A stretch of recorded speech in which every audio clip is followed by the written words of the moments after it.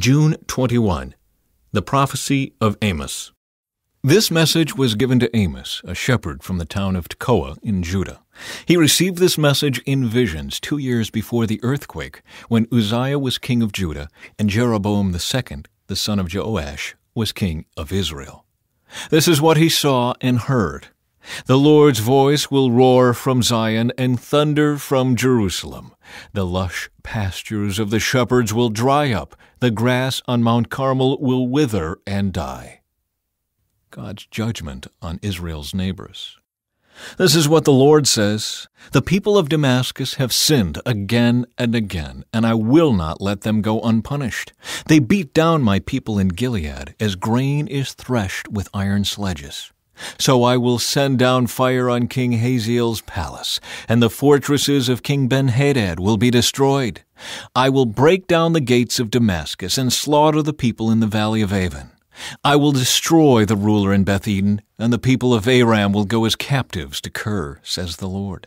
This is what the Lord says The people of Gaza have sinned again and again, and I will not let them go unpunished. They sent whole villages into exile, selling them as slaves to Edom.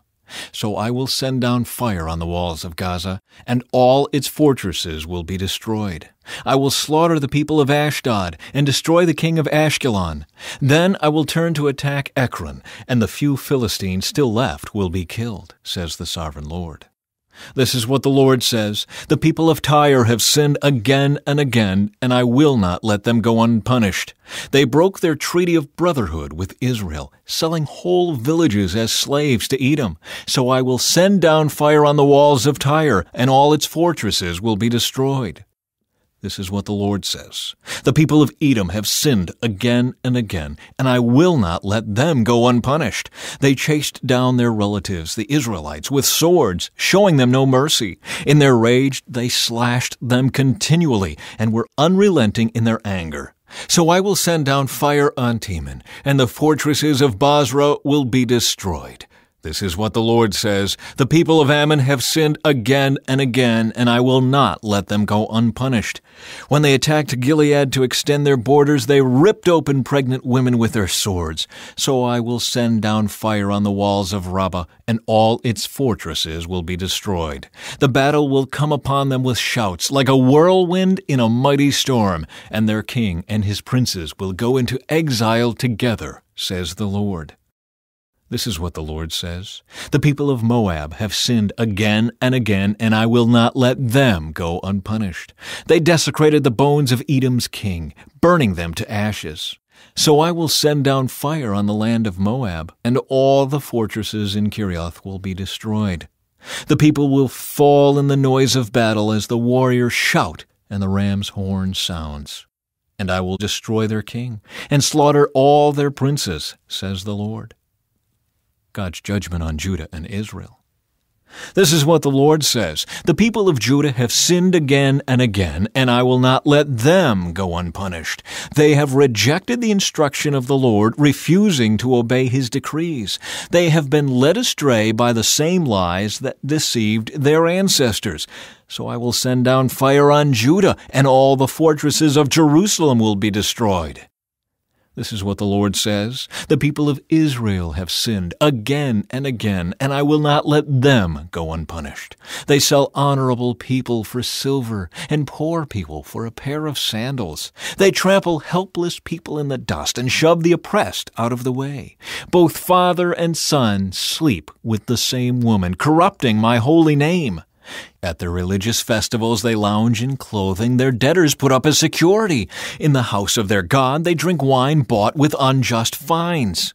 But as my people watched, I destroyed the Amorites, though they were as tall as cedars and as strong as oaks. I destroyed the fruit on their branches and dug out their roots. It was I who rescued you from Egypt and led you through the desert for forty years so you could possess the land of the Amorites. I chose some of your sons to be prophets and others to be Nazirites. Can you deny this, my people of Israel? asks the Lord. But you caused the Nazirites to sin by making them drink wine, and you commanded the prophets, Shut up! So I will make you groan like a wagon loaded down with sheaves of grain. Your fastest runners will not get away. The strongest among you will become weak. Even mighty warriors will be unable to save themselves. The archers will not stand their ground. The swiftest runners won't be fast enough to escape. Even those riding horses won't be able to save themselves. On that day, the most courageous of your fighting men will drop their weapons and run for their lives, says the Lord. Listen to this message that the Lord has spoken against you, O people of Israel and Judah, against the entire family I rescued from Egypt. From among all the families on the earth, I have been intimate with you alone. That is why I must punish you for all your sins. Witnesses against guilty Israel. Can two people walk together without agreeing on the direction? Does a lion ever roar in a thicket without first finding a victim? Does a young lion growl in its den without first catching its prey? Does a bird ever get caught in a trap that has no bait? Does a trap spring shut when there's nothing to catch? When the ram's horn blows a warning, shouldn't the people be alarmed? Does disaster come to a city unless the Lord has planned it? Indeed, the sovereign Lord never does anything until he reveals his plans to his servants, the prophets. The lion has roared. So who isn't frightened? The sovereign Lord has spoken, so who can refuse to proclaim his message? Announce this to the leaders of Philistia and to the great ones of Egypt. Take your seats now on the hills around Samaria and witness the chaos and oppression in Israel. My people have forgotten how to do right, says the Lord. Their fortresses are filled with wealth, taken by theft and violence. Therefore, says the sovereign Lord, an enemy is coming. He will surround them and shatter their defenses. Then he will plunder all their fortresses. This is what the Lord says. A shepherd who tries to rescue a sheep from a lion's mouth will recover only two legs or a piece of an ear.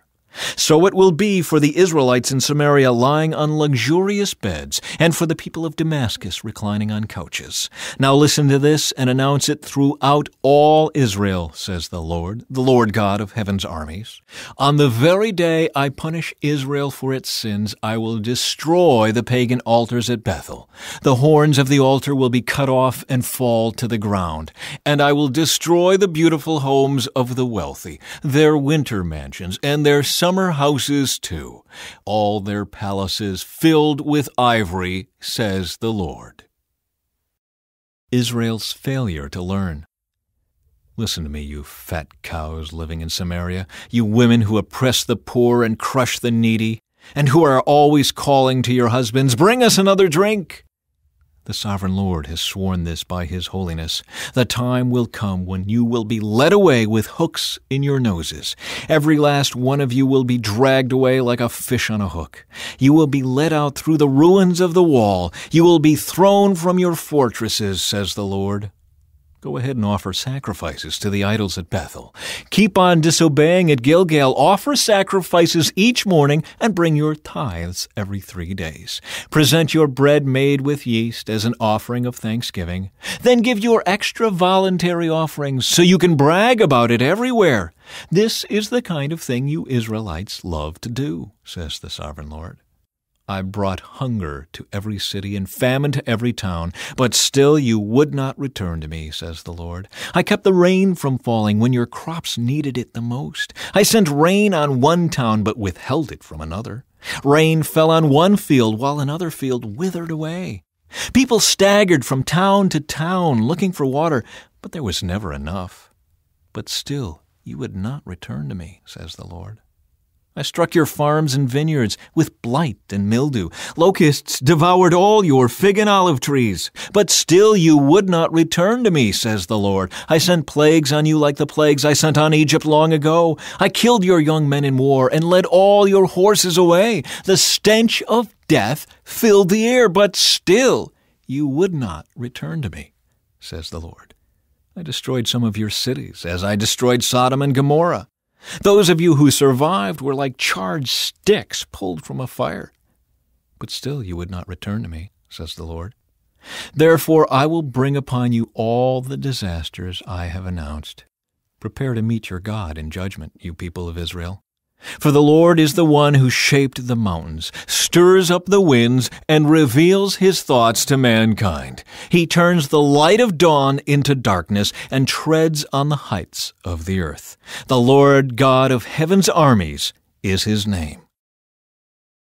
A call to repentance. Listen, you people of Israel. Listen to this funeral song I am singing.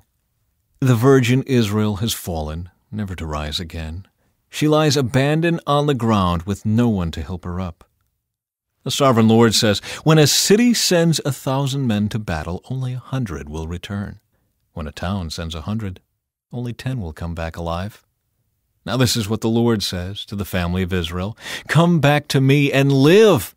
Don't worship at the pagan altars at Bethel. Don't go to the shrines at Gilgal or Beersheba. For the people of Gilgal will be dragged off into exile, and the people of Bethel will be reduced to nothing. Come back to the Lord and live. Otherwise, he will roar through Israel like a fire, devouring you completely. Your gods in Bethel won't be able to quench the flames. You twist justice, making it a bitter pill for the oppressed. You treat the righteous like dirt. It is the Lord who created the stars, the Pleiades and Orion. He turns darkness into morning and day into night. He draws up water from the oceans and pours it down as rain on the land. The Lord is his name. With blinding speed and power, he destroys the strong, crushing all their defenses. How you hate honest judges! How you despise people who tell the truth! You trample the poor, stealing their grain through taxes and unfair rent. Therefore, though you build beautiful stone houses, you will never live in them. Though you plant lush vineyards, you will never drink wine from them. For I know the vast number of your sins and the depth of your rebellions. You oppress good people by taking bribes and deprive the poor of justice in the courts. So those who are smart keep their mouths shut, for it is an evil time. Do what is good and run from evil, so that you may live. Then the Lord God of heaven's armies will be your helper, just as you have claimed. Hate evil and love what is good. Turn your courts into true halls of justice. Perhaps even yet the Lord God of heaven's armies will have mercy on the remnant of his people. Therefore, this is what the Lord, the Lord God of heaven's armies, says There will be crying in all the public squares, and mourning in every street. Call for the farmers to weep with you, and summon professional mourners to wail. There will be wailing in every vineyard, for I will destroy them all, says the Lord. Warning of coming judgment. What sorrow awaits you who say, If only the day of the Lord were here! You have no idea what you are wishing for. That day will bring darkness, not light. In that day, you will be like a man who runs from a lion, only to meet a bear. Escaping from the bear, he leans his hand against a wall in his house, and he's bitten by a snake. Yes, the day of the Lord will be dark and hopeless, without a ray of joy or hope. I hate all your show and pretense, the hypocrisy of your religious festivals and solemn assemblies. I will not accept your burnt offerings and grain offerings. I won't even notice all your choice peace offerings.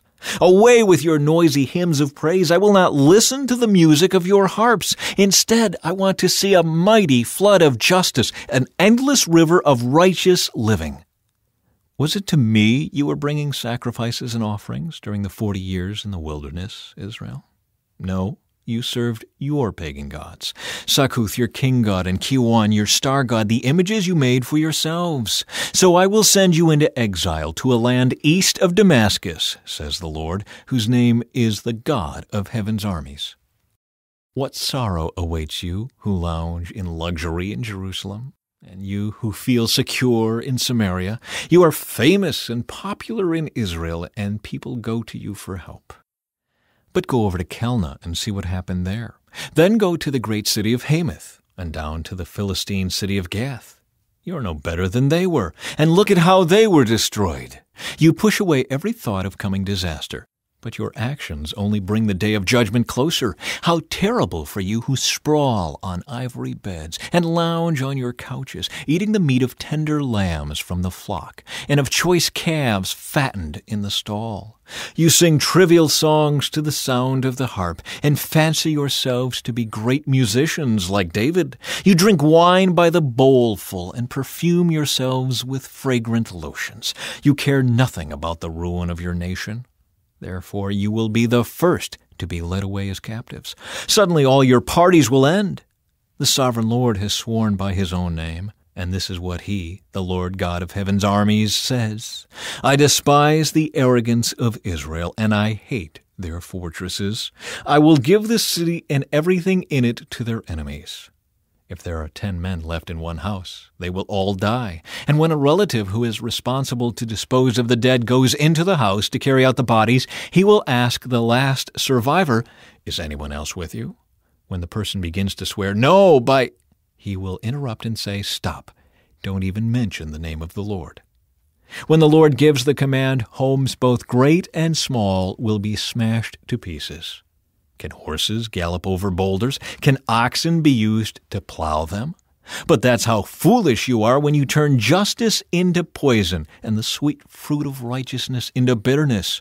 And you brag about your conquest of Lo-debar. You boast, didn't we take Karnaim by our own strength? O people of Israel, I am about to bring an enemy nation against you, says the Lord God of heaven's armies. They will oppress you throughout your land, from Lebo Hamath in the north to the Arabah Valley in the south.